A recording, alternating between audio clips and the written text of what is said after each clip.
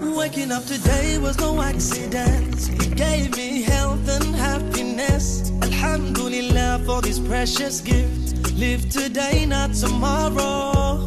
Ya Allah, I thank you every time. I can see it clearly through these eyes. Subhanallah, these are simple signs. Know that my time is borrowed.